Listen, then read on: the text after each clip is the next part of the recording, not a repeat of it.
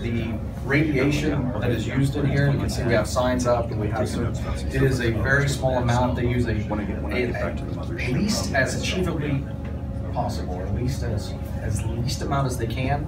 Um, I never knew it, bananas are actually a standard unit of radiation.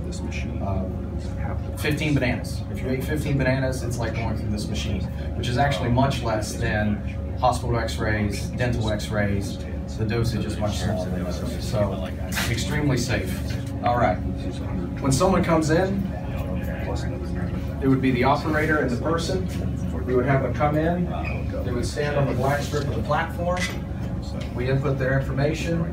The platform simply slides from one side to the other and stops. They walk off the other side and scan is over. Uh, the image would pop up right here on the screen, and we are then able to read the image, interpret if there's anything in there that should not be.